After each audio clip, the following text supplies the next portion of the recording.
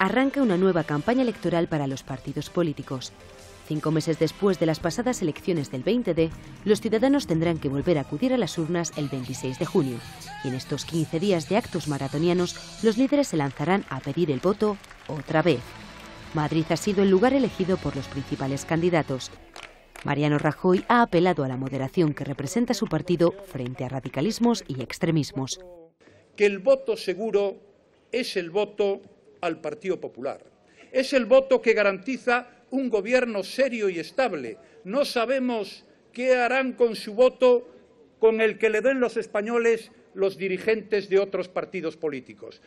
Pedro Sánchez ha lanzado un mensaje de confianza a sus electores de corazón y ha asegurado que de ellos depende que haya cambio en España. Socialistas, progresistas, el cambio está en nuestra mano. Me dijeron dos veces que no, el 2 y el 4 de marzo. A la tercera va la vencida. A por ello. En el primer gran acto de Unidos Podemos, Pablo Iglesias y Alberto Garzón han pedido llenar las urnas de ilusión por el cambio, y el candidato de la coalición a la Moncloa se ha ofrecido a encabezarlo. Y quiero dirigirme esta noche no solamente a la gente que nos va a votar, sino también a la gente que quizá no nos vaya a votar.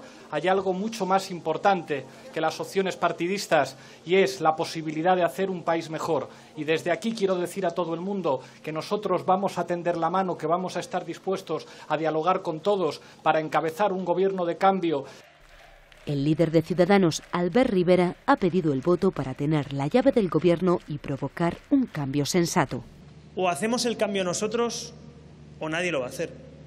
Porque el PP y el PSOE hemos demostrado que si Ciudadanos no es decisivo, no cambian una coma de los errores de los últimos 35 años. Comienza una especie de segunda vuelta para los partidos, aunque poco han cambiado las posturas de sus líderes. Con estos mensajes ha empezado ese periodo de dos semanas en el que todas las promesas están por hacer y todas las propuestas por ser formuladas. Comienza la campaña electoral.